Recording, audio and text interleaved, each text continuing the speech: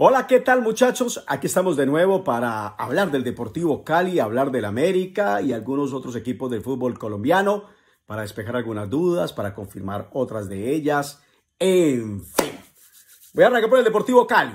Para mí es un tridente supremamente especial el que va a tener el Deportivo Cali en el ataque. Vázquez, Marcos Pérez, Ángelo Rodríguez. Me inquieta es que ninguno de los tres es killer, ninguno de los tres es goleador, pero que va a haber oportunidades por toneladas. Marcos Marco Pérez le fue muy bien en el Tolima. John Vázquez creció con el Deportivo Cali. Ángelo Rodríguez tiene que afinar.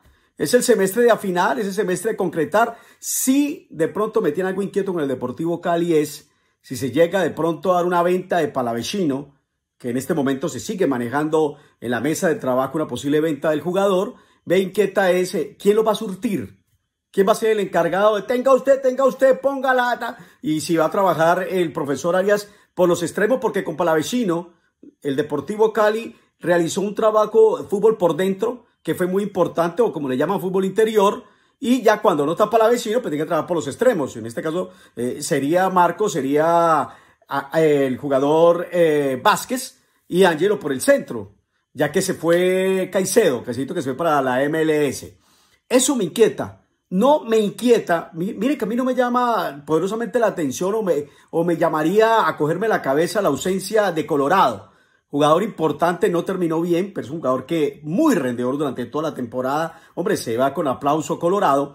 Pero digamos que lo de Balanta, si lo afina el técnico, si el técnico le, le da, bueno, ya le está dando una carta dejándolo, pero si lo afina futbolísticamente junto a Johan Valencia, Deportivo Cali puede crecer en esa primera línea de volantes y ojalá obtenga un par de jugadores más para que pueda formar una buena línea de contención porque es muy joven.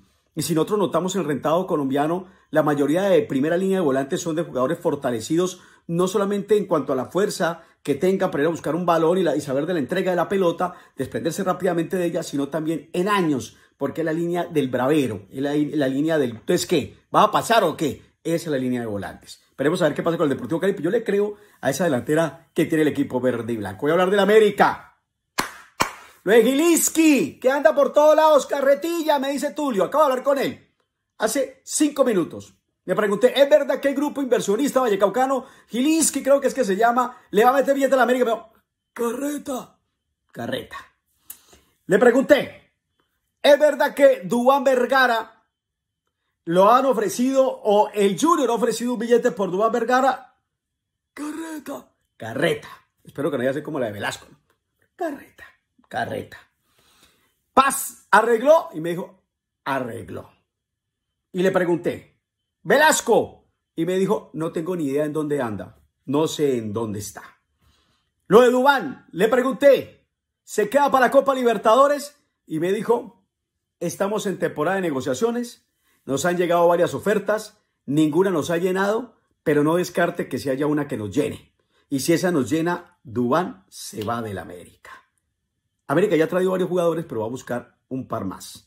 Le pregunté, ¿es verdad que usted dijo que tiene una bomba para tirar en las próximas horas de cuadro escarlata? Y me dijo, eso lo publican para ganar seguidores. Yo no tengo ninguna bomba, simplemente voy a tirar lo que llegue y ojalá lo que llegue sea bueno. Pero no hay ninguna bomba para tirar.